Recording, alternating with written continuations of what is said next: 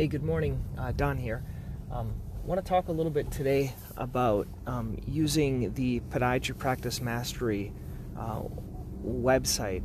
Um, basically, for those that um, are are used to the word, um, the the Podiatry Practice Mastery website is something what they call a, a lead, uh, a squeeze page, and if you go to that page.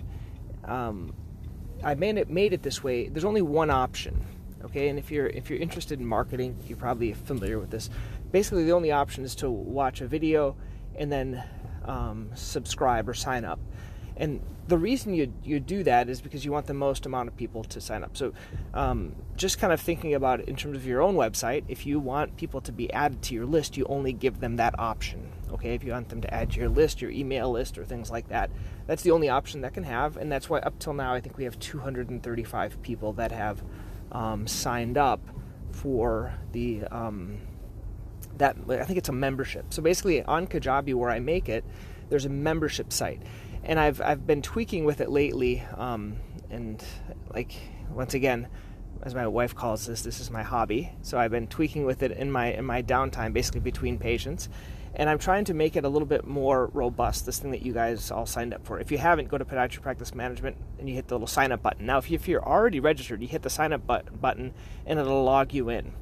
Now, on there, I've put um, to make it easier, I put links to the videos uh, these uh, weekly interviews that come out. I put links to the podcast so if you wanted to sign up for that, which you're listening to it, so you're probably already signed up. And then I also put in uh, mini courses. These mini courses are um, are those group sessions that I was doing, but it was a horrible time, so we didn't continue with that. And then there's also um, other little video videos that I put there that can be helpful. And then there's a, a, a tab there for resources. So resources is kind of a, I call it kind of like a virtual junk drawer. These are all the best uh, places that I go and the things I talk about. So I have different resources for email to be more efficient, uh, marketing efficiency, making videos. Pretty much all these um, tips that we're talking about in these individual sessions, I put them all in, in that in that um, resources or recommendations section. So I would like you to go check that out uh, and let me know your thoughts.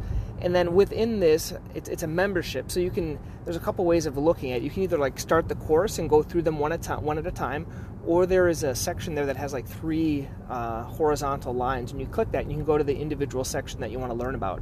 And as I've been thinking about it, it might that might be the best place to put these individual courses or individual sections based on, like, let's say um, a lot of all the content about shockwave if you want to learn just about shockwave how to do it how to how to do the, the practice management behind it and, and, and, different resources that I found that might be helpful for you. Basically, like a junk drawer on, on Shockwave or on orthotics or on different types of things like this. Because we don't seem to have that within within the profession because you can just Google around at different places, but it's not all placed in, in one place. So I'd like to, to know your thoughts. Um, let me know if, if, you could go there, scroll there, see what's kind of missing, what's messed up.